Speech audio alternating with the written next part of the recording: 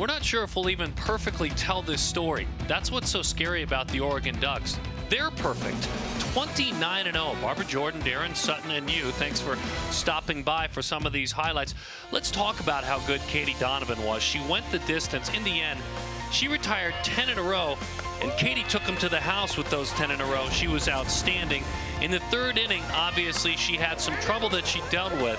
There were bases loaded. She just gave up the one run, Barb. Gave up the one run, so she really settled in, getting out of that bases loaded jam.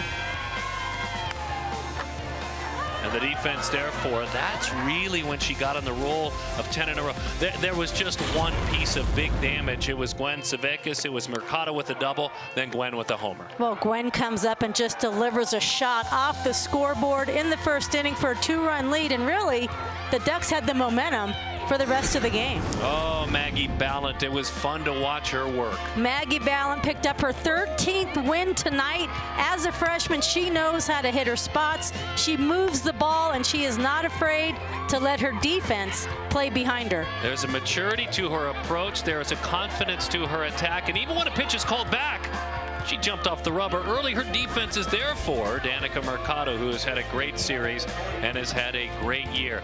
Again, they're 29 and 0. They're balancing everything out perfectly. The Oregon Ducks will have the finale for you, 4 o'clock Mountain. We'll do that one tomorrow, looking for the sweep. Let's not forget how good the Utes have been this year as well. Jordan and Sutton, we'll see you next time at the Ball Yard. Peace.